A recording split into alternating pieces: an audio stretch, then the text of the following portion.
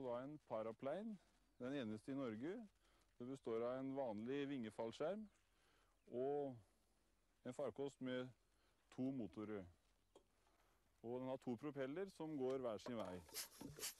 Først tar vi en sigarett og bryter av filteret. Setter det i øret for å beskytte hørselen. Så tar man hjelmen, setter den på hodet og beskytter det lille man har. En mobiltelefon er greit å ha med i tilfelle man lander ute i buskene, så kan man tilkalle hjelp. Og så er alt klart til å fly av gårde.